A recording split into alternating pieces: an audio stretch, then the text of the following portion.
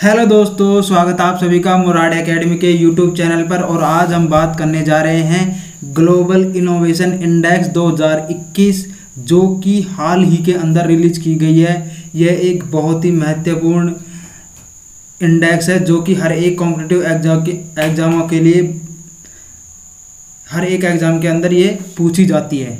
तो चलिए देखते हैं इसके बारे में। पहले तो ये जान लेते हैं कि ग्लोबल इनोवेशन इंडेक्स, जो कि किसी देश के लिए कैसे निकाली जाती है कि ग्लोबल इनोवेशन इंडेक्स उस आधार पर निकाली जाती है कि उस देश के अंदर कितनी टेक्नोलॉजी है, कितना उसका टेक्नोलॉजी के अंदर उसका विकास हो रहा है साइंस के अंदर वो कितना आगे बढ़ रहा है और वो कितना कितना कार्बन का इनो कार्बन का रिड्यूस कर रहा है, वह सोलर सोलर एनर्जी पर कितना डिपेंड है, इन सभी चीज़ों को देखते हुए यह इंडेक्स निकाली जाती है।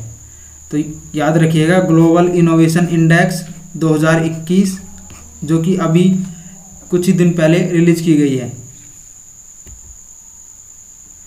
यह जो रिलीज़ कर, करता है वह वीपो वर्ल्ड इंटेलेक्चुअल प्रॉपर्टी ऑर्गेनाइजेशन यह इसको रिलीज़ करता है वीपो वीपो जो कि यूएन की एक यूएन की एक सब्सिडरी कंपनी है, जिसके द्वारा वर्ल्ड इंटेक्चुअल प्रॉपर्टी ऑर्गेनाइजेशन के द्वारा यह निकाली जाती है।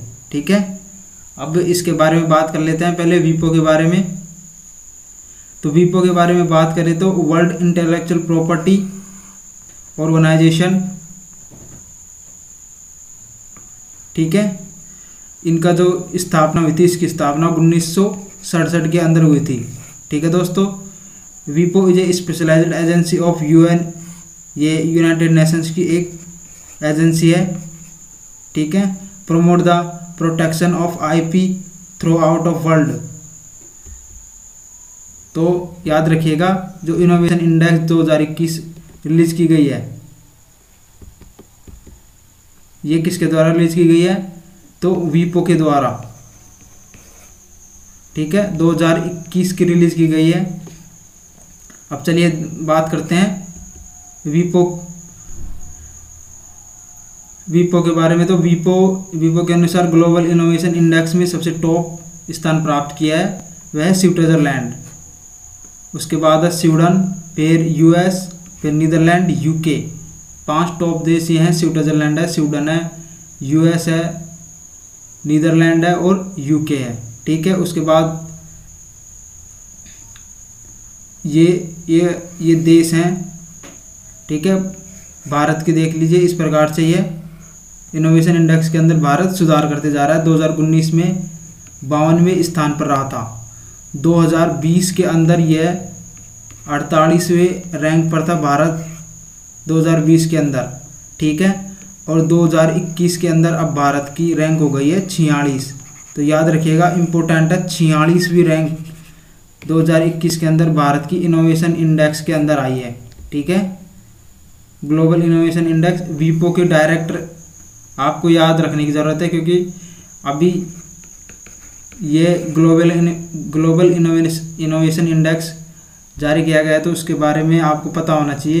पहले तो वीपो इसको रिलीज़ करता है इनोवेशन इंडेक्स को, ठीक है? डायरेक्टर जनरल है डेरेन तांग याद रखिएगा डेरेन तांग इसके डायरेक्टर जनरल है। इम्प्रूविंग ऑन इनोवेशन ठीक है? छियालीसवीं रैंक है 2021 के अंदर भारत की और अड़तालीसवीं रैंक थी 2020 के अंदर। दो रैंक का हमको हमको फ़ायदा हुआ है। याद रखिएगा, इसके अंदर Switzerland Sweden US UK Korea ये ये टॉप फाइव देश हैं, जिन्होंने इनोवेशन इंडेक्स के अंदर शानदार प्रदर्शन किया है। हमारी जो स्ट्रेंथ है, वह इंजीनियरिंग के अंदर है। Science engineering graduates India strengths ठीक है?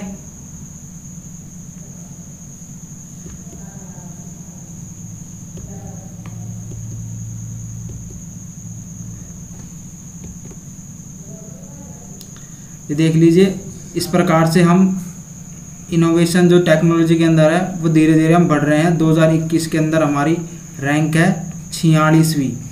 ठीक है?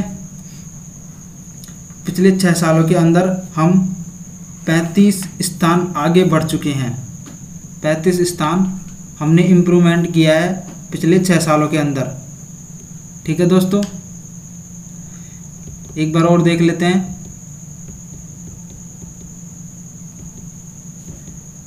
तो global innovation index global innovation index दो हज़ार इक्कीस वीपो जारी करता है, याद रखिएगा, वीपो वर्ल्ड इंटेलेक्चुअल प्रॉपर्टी ऑर्गेनाइजेशन, ये यूएन की सब्सिडरी एक एजेंसी है। वीपो की स्थापना उन्नीस सौ सड़सठ के अंदर की गई थी। याद रखिएगा इंपॉर्टेंट है, उन्नीस वीपो की स्थापना की गई थी।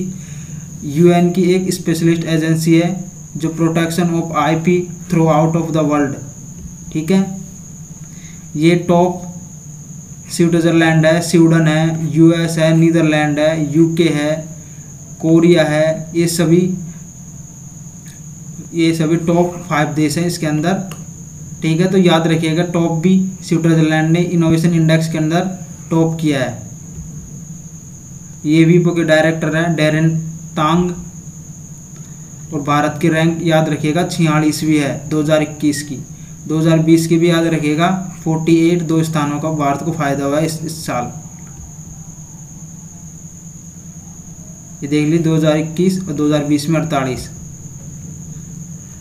थैंक यू दोस्तों, कैसा लगा हमारा वीडियो? अच्छा लगे तो लाइक कीजिए शेयर कीजिए। धन्यवाद।